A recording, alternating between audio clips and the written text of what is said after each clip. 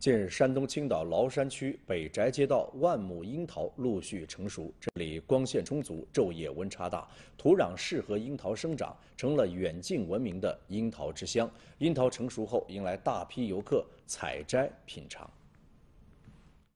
北宅街道拥有崂山小樱桃、崂山樱桃、红灯、沙蜜豆等数十个品种，每年的樱桃花海吸引了众多游客前来游玩拍照。樱花园非常的大。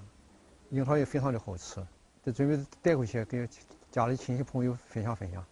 北宅鼓励当地农民发展樱桃种植业，将樱桃种植与旅游观光结合，多方面拓展农民收入渠道。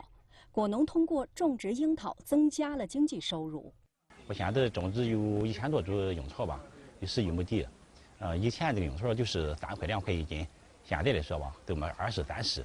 北宅街道还通过举办樱桃节一系列活动，拉长了乡村旅游产业链条。北宅共有樱桃是大约四十六万株，然后亩数是一点一万亩。五年前，樱桃带给我们的年均收入大约是每人人均八千六百元。五年后的今天，我们大约是一万三千元。